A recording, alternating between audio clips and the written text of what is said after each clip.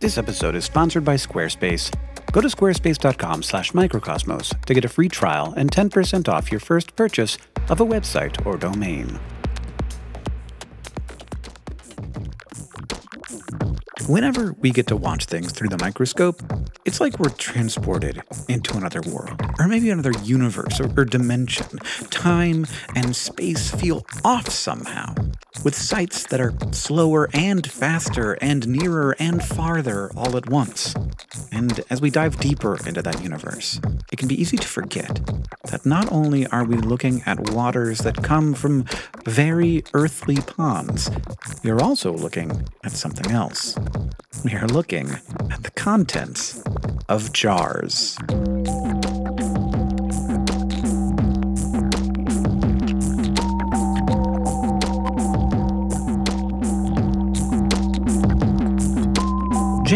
Our master of microscopes, gets his samples from all over the world. Some are sent to him, some he collects himself on set expeditions to nearby locations. At other times, things are a bit more impromptu. Like he'll go out on a date, but bring a tube or two along with him, because no matter where you are, there's always a promising sampling opportunity somewhere nearby.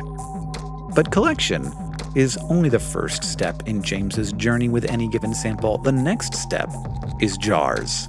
Lots and lots of jars. James has so many jars that his bookshelf is maybe a little less of a bookshelf and more of a jar shelf.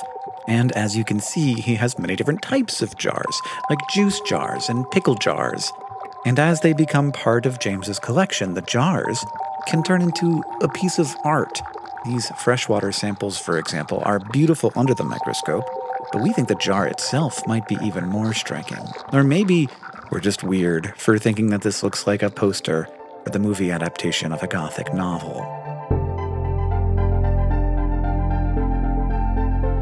Aside from their aesthetics, there are practical considerations to the jars. The most important feature for James is that he is able to see into the container. This lets him monitor the conditions that his samples are in and get hints as to the kinds of things he will see when he puts them under the microscope. These jars are more than just storage, they're tiny habitats that James has constructed in his home, a neighborhood of little universes that he's had to carefully reconstruct to keep his samples alive and well.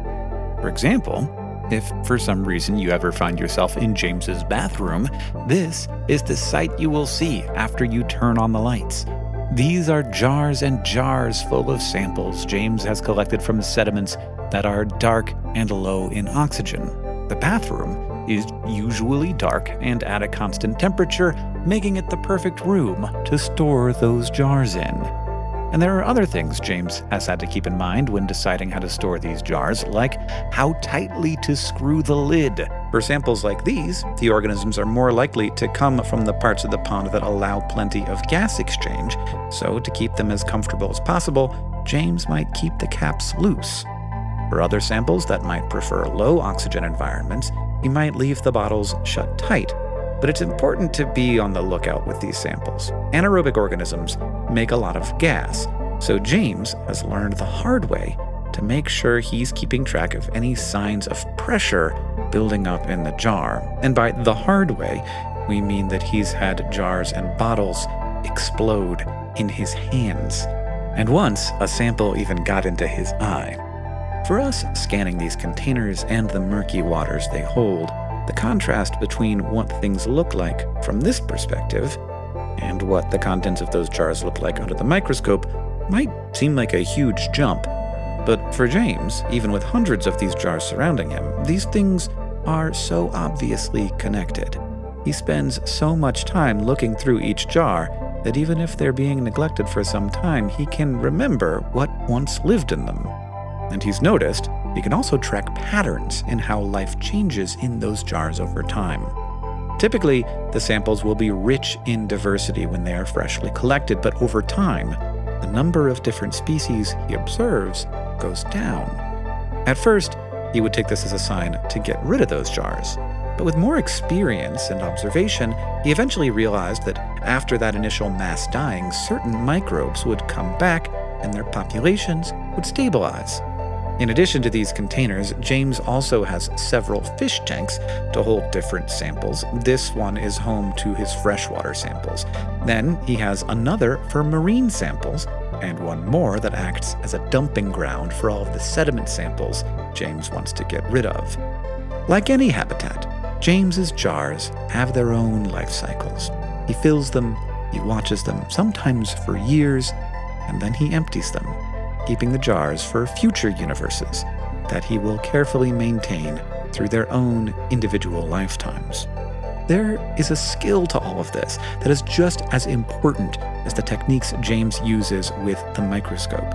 It is impossible to truly replicate the original habitats that these organisms originally came from.